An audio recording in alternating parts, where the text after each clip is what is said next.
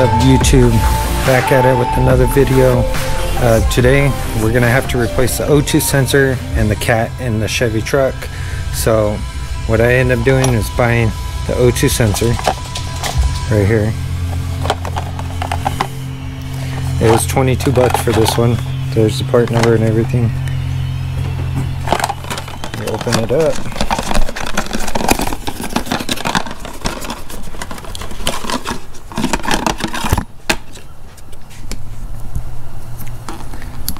So this is what the O2 sensor looks like. It has little slits at the end and then it has some anti-seize on the end of it on the threads. This one I got has a single wire, so has a single port in the center. And then we have we have the cat. this is the part number here. So this one I got from uh. It was 300 bucks plus tax. It came out to like 340 or something with the both of them. This is 20 bucks, tax and everything. So this one's MagnaFlow. It's a direct replacement. So let's get this out. So as you can see, it has the, this one's 26 inches long um, it has the the female end right here, the male end right here, and then if we take it out and we look through it. So if you're ever curious to see what a cat has inside of it, uh, it looks like a screen, like the screen you have on your house. That's what it looks like, but it's all um, metal and they have platinum in them so that way they could grab all the contaminants and stuff. Um, but the screen is intermeshed. So you have a pattern going this way and a pattern going that way and it's throughout this whole uh, tube. So through this whole area right here. And uh, basically with that pattern keep going back and forth uh, it filters out everything and it it minimizes the light that goes through there. So it's hard to see all the way through just because there's a lot of media in there.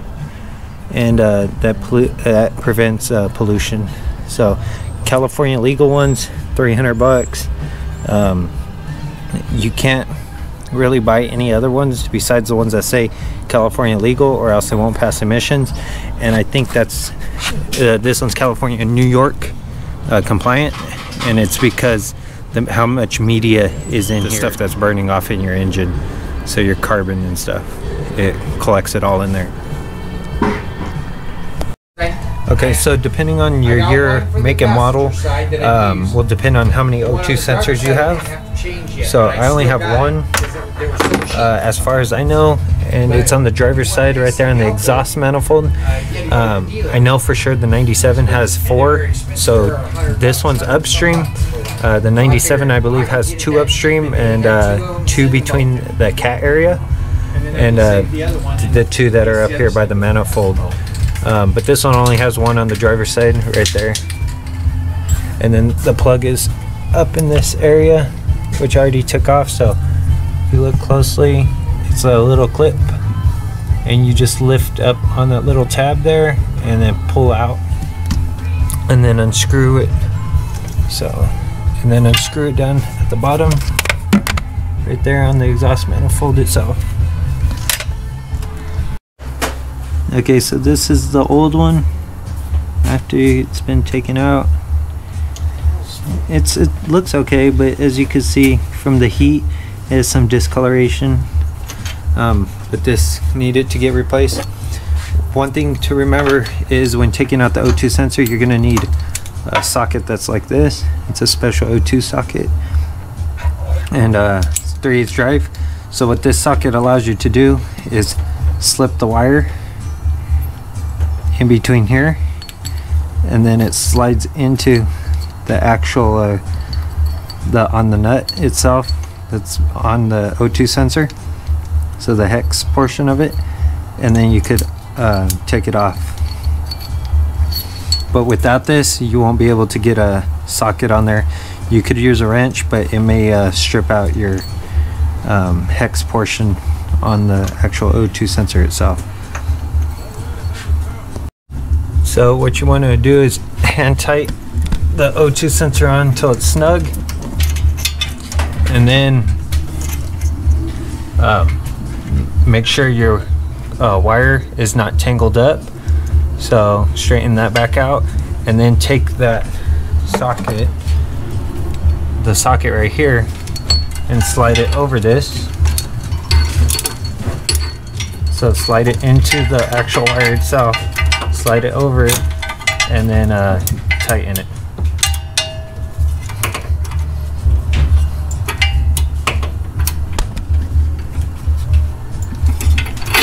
So your torque values are going to be based on uh, your actual your make and model and uh, you want to torque that down to whatever the manufacturer recommendations are.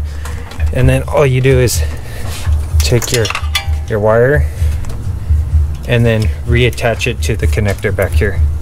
So you just plug it back in and then it's done. Okay so to replace the cat as we move along coming into the Y pipe area so that's the front of the vehicle. And then as you can see this is the Y pipe this is the driver side this is the passenger side as you look up you'll see uh, this U uh, bolt. And uh, to take this one off it's a 15 millimeter. Make sure you have a, uh, a deep socket because of the stud. Regular socket won't clear the stud so you need a deep socket. Do not use an impact socket because they're slightly longer.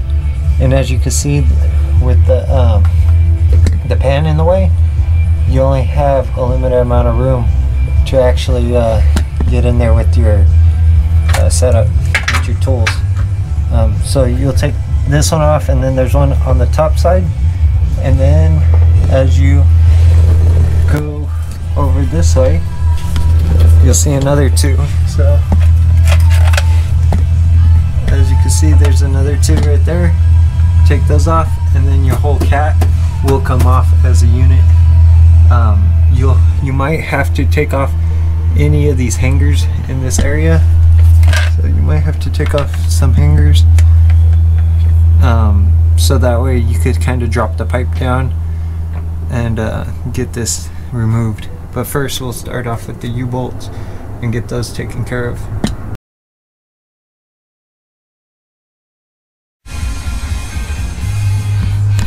Okay, so as you can see, there's right in here.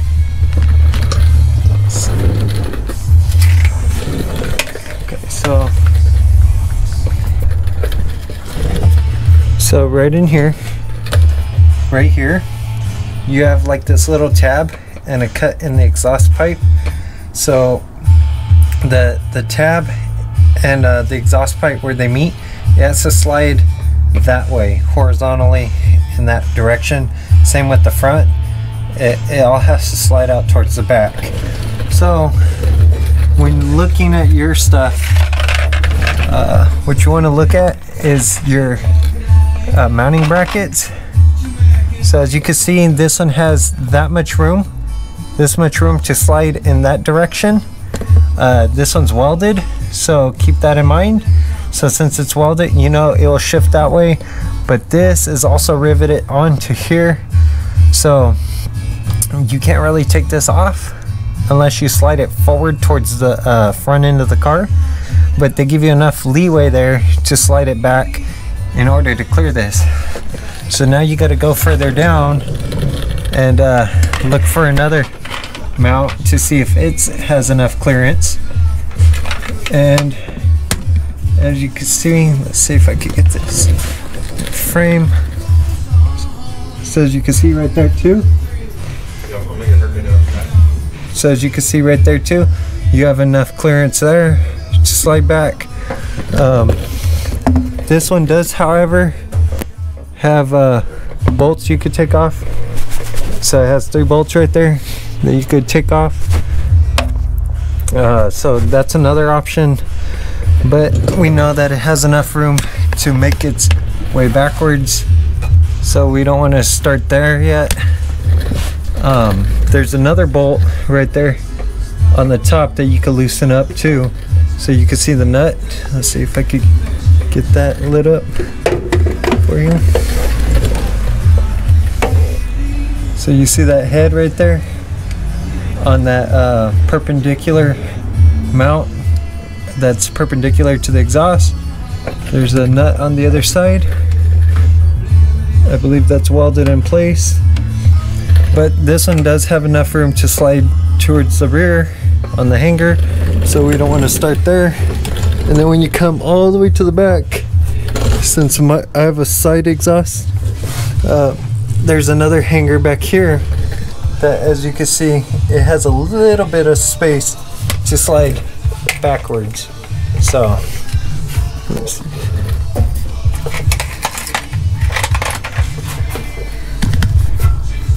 So if you look up close you'll see that the gap right here is very minimal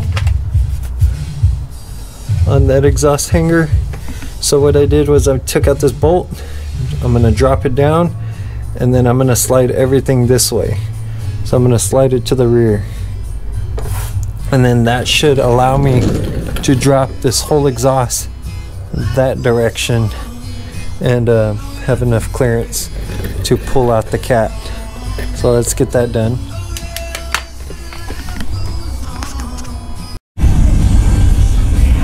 So here's the old cat. It's extremely heavy compared to the the new cat. And uh, what I had to do first of all is cut it with the sawzall to get the male end out of the female that's attached to the muffler in. and then I used a die grinder and I gave a, a, relief cut across the bottom so that way this would easily work its way out uh, this was extremely hard to get out uh, it's almost like it bonded itself over the years 190,000 miles on this original cat so it bonded itself to the um, current pipe that's in there. And then if you want to know what this looks like on the inside, as you can see it's not a straight shot all the way through. This weight is equivalent to, I don't know if you ever picked up a sandbag or a, a cement bag.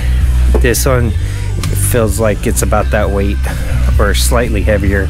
Maybe it's because everything kind of um, burned out on the inside and kind of turned into soot and over time just collected the carbon buildup. Um, but this thing's extremely heavy. It's I would say it's at least maybe 30 to 50 pounds. Um, and the other one's probably like a third that, if that. So this is a extreme weight reduction when I installed the new one. Okay, so what we got here is the top, and then this has some writing at the other end of it. Um, it has double arrows, so that means that it goes in either direction. But you want to make sure that this is facing up towards your floorboard. When setting it down, you can see the size difference. Uh, this tube basically takes from this point to this point takes up this area and I could lift this one up a one